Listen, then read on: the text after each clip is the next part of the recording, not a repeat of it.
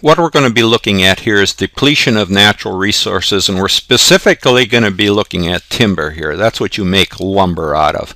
And for our example, we're going to be looking at a changing depletion base here for this timber. And we're going to have to determine what's included in here. And for our example here corporation A a lumber company goes out and purchases 10,000 acres of forested timberland here. And I'm just throwing out this date here uh, March 1st 20x1 here. And they paid $3,400 an acre. That's with the timber on it here. And if it was valued with a, as cleared land or it had no timber on it it would be valued here at $1,600 an acre. And then they built logging roads on it here on uh, March 1st through uh, July here at a cost uh, of $500,000 for these logging roads. And that's going to be part of our uh, depletion base here. And then they gone out and they purchased some sawing equipment here, and I've got that shown here uh, for its uh, cost and salvage value and so forth. But we're not going to really be looking at it in this problem because it's not part of our depletion base here. It just be capitalized and depreciated separately here. But what we do have here is this timber, and we have it classified here in terms of board feet. That was what comes out of the timber here, uh, the lumber that we're going to sell. And that's defined here in board feet. And what we have here for years 20x1 through 20x2, we have the uh, amount of board, board feet that are sold here and then available uh, to cut here. That's the estimated amount of board feet sitting on these 10,000 acres of land here. And that's estimated each year here by somebody that goes out and um, determines how much uh, timber is standing and how many board feet you can get out of it here. And then we also have uh, yearly maintenance costs here to spray and preventive disease and maintain the fire lanes and roads here. And what I want to point out here, these are expensed each period and they're not part of the depletion base here. But what we also have here is each year here they're going to plant some new seedlings or some new small uh, trees that are going to grow up and mature into full grown trees someday here. And I've got them shown here for March, they do that in March each year here for 20x2 and 20x3 here. Now these are restoration costs and they're part of this depletion base here. So let's go up and look at how we calculate or compute our depletion depletion base each year here. So for there are depletion base here for our timber in our first year here at 20x1 they started up the operation. Our cost per acre was $3,400 that's with the timber on it here. The land cost alone here uh, with the cleared land was $1,600 per acre. So the difference here gives us our timber cost on this land here of $1,800 here per acre here. And we have 10,000 acres we purchased. So the total timber cost here are valued on the land is 18 million dollars. Now we have to uh, add in our logging road cost here of $500,000 so our total depletion ba depletion base here for 20x1 is 18 million five hundred thousand dollars. So here's our total depreciation base. Now uh, to determine the uh, how much our depletion expense here for 20x1. All we do is take,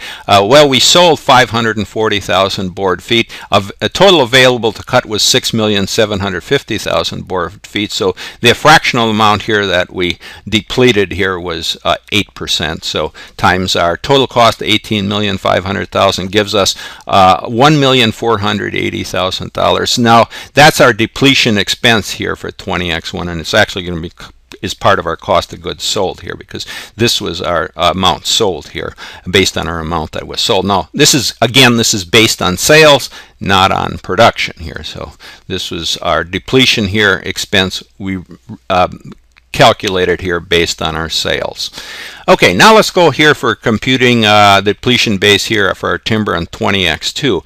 Well, we have our we take our depletion base here for 20x1 here of $18,500,000, and then we have to subtract the depletion here that we had on this acreage here uh, for 20x1 at 1,480,000. Then we have to add in our seedling costs here, seeding for new trees here $240,000. And that uh, we do that because that's part of the restoration cost here. So our total depletion base here for 20x2 is 17 million. $260,000 here.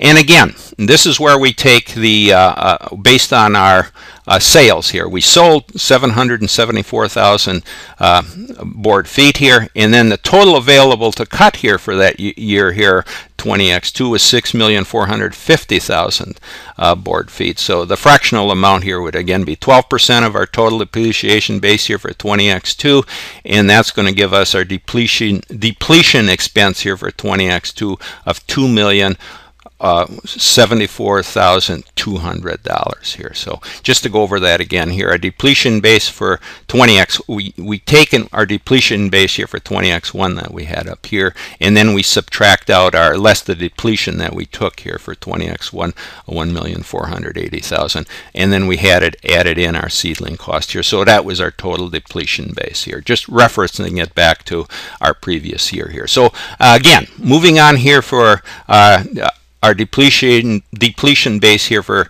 our timber here in 20x3. Repeat the same process. All we do is I take our depletion base here for 20x2, $17,260,000 here, and we would subtract our depletion here that we used for our depleted this uh, forest our timberland here for 20x2 of $2,071,200. We've taken that here. Plus our seeding cost here for the year here of $300,000. We add that in. So our total depletion base here for 20x3 is just our sum total amount here.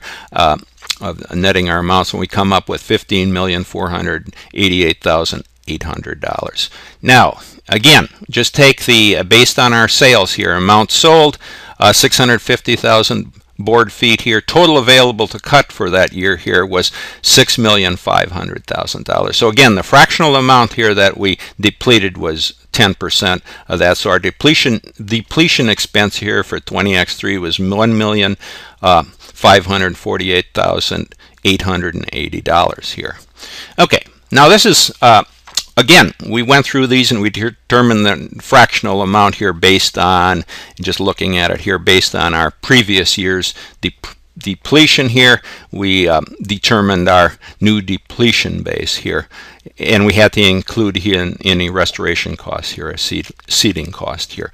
Now, uh, what we've done here is essentially this. We uh, calculated our depletion expense here based on a cost per unit or the production method. So let's just look at what we've done here. We take our total cost base here and we divide it by the total estimated units available and that's going to give us our depletion cost per unit. So just look at this last example here. Our total cost base here was 15,488,800 dollars here. We divide it by the total estimated units available here of 6,500,000.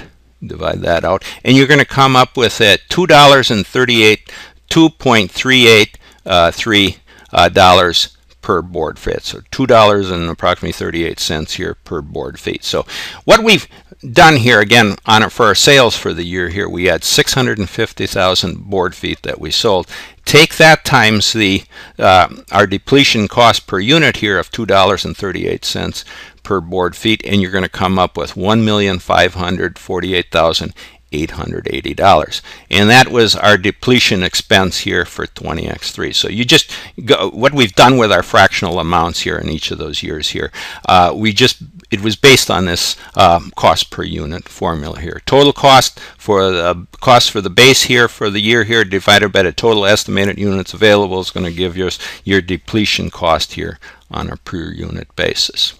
All right, so you've seen how we've gone through that here, but we've done it here just by taking our fractional amount here. And again, this is based on our depletions based on the units sold here, not the units produced here.